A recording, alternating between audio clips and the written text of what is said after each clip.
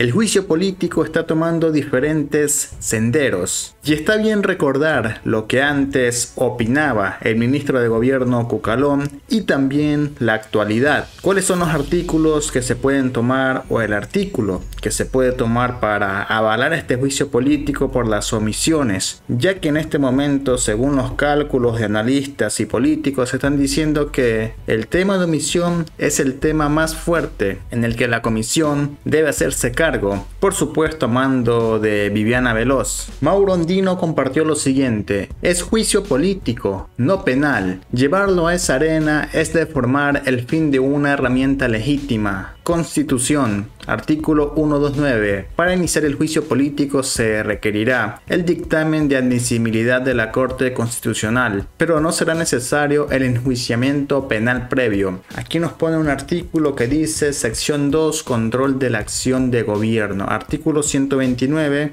La Asamblea Nacional podrá proceder al enjuiciamiento político de la presidenta o presidente o de la vicepresidenta o vicepresidente de la República a solicitud al menos una tercera parte de sus miembros en los siguientes casos. 1. Por delito contra la seguridad del Estado. 2. Por delitos de concusión, cohecho, peculado o enriquecimiento ilícito. 3. Por delitos de genocidio, tortura, desaparición forzada de personas, secuestro u homicidio por razones políticas o de conciencia. Para iniciar el juicio político se requerirá el dictamen de admisibilidad de la Corte Constitucional, pero no será necesario el enjuiciamiento penal previo. Esto pone Mauro Andino. Sin embargo, ahora vamos a escuchar las palabras que decía el ministro de Gobierno actual, el señor Henry Cucalón, cuando se estaba debatiendo el tema del ex vicepresidente Jorge Glass. Si pasaba o no pasaba. Bueno, tenemos las palabras aquí de Henry Cucalón.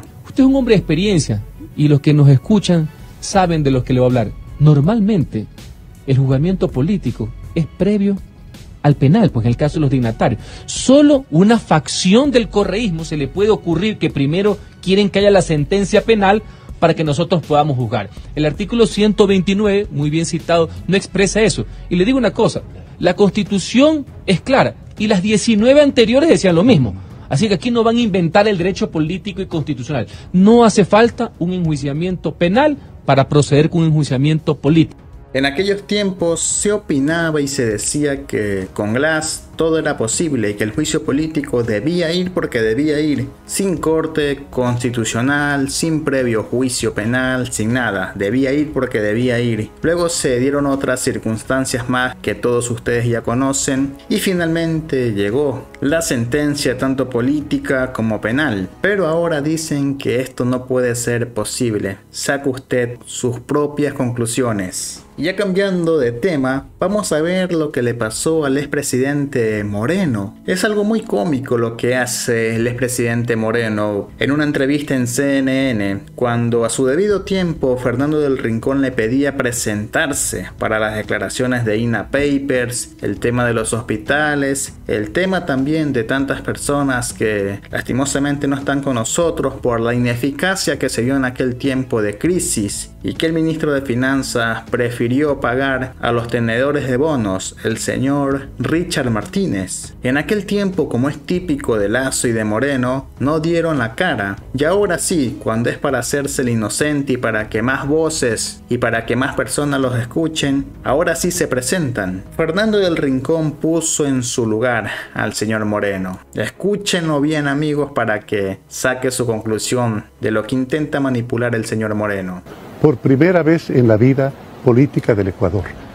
Se lleva a juicio a toda una familia, a esposa, a hijos, a yernos, a, a cuñados, a hermanos, etcétera, etcétera. Es la primera vez en la vida que esto ocurre, Fernando. Parece que es el nuevo sistema que implementa el socialismo del siglo XXI para aterrorizar, para atemorizar a la gente. Ellos están envalentonados, eh, Fernando. están envalentonados porque ganaron perdón, las perdón, últimas eh, elecciones. Expresidente, Ahí viene. expresidente Moreno, déjenme Ajá. hacer un punto ahí. Y, y perdón, expresidente Moreno, yo entiendo lo que me está diciendo. Toda una familia sí llama sumamente la atención. Le recuerdo algo. Las más poderosas mafias italianas eran familias. Eh, no, no, veo cuál es la Bueno, diferencia. ¿Por qué el hecho de que se hablando- investigue a toda una familia tiene que ser una persecución? Como era ya típico desde antes y hasta ahora, el expresidente Moreno sigue insistiendo en que es culpa del el socialismo, que es culpa de Correa, que todo lo que le pasa es culpa de Correa. Entonces hay que sacar una conclusión. Diana Salazar es correísta, los fiscales a cargo de estas investigaciones, los peritos, los detectives, también son correístas. Los trabajadores de estos bancos donde este señor quería esconder la plata también son correístas, son socialistas. Evidentemente ya nadie le cree. Y amigos, una cosa sí les digo, no se sabe oficialmente, pero parece que en Estados Unidos le quitaron la visa al señor Moreno y a su familia. Así que no tiene ya dónde jubilarse. Típicamente los políticos ecuatorianos cuando salían de la política cometiendo sus actos ilícitos se jubilaban en Estados Unidos, pero parece que esta suerte no le ha tocado al señor Moreno ni a su familia.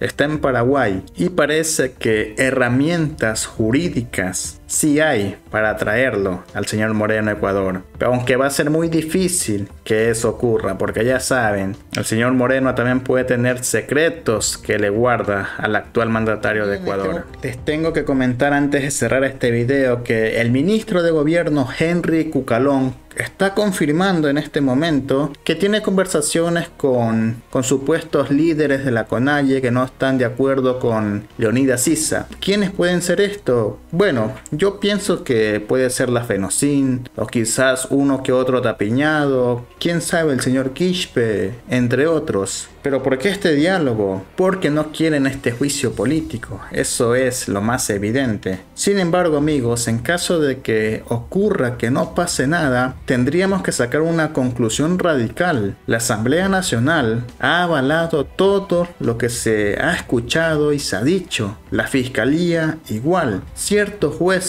no todos, igual, estarían dándole el respaldo a un grupo selectivo de políticos y personas y dándole la espalda al pueblo ecuatoriano a que se salve como pueda, como ya se está viendo actualmente. Amigos, hasta aquí este video me puede dejar su opinión acerca de los temas tocados en este noticiero. Más tarde nos vemos con más noticias. Suscríbase y síganme en la página.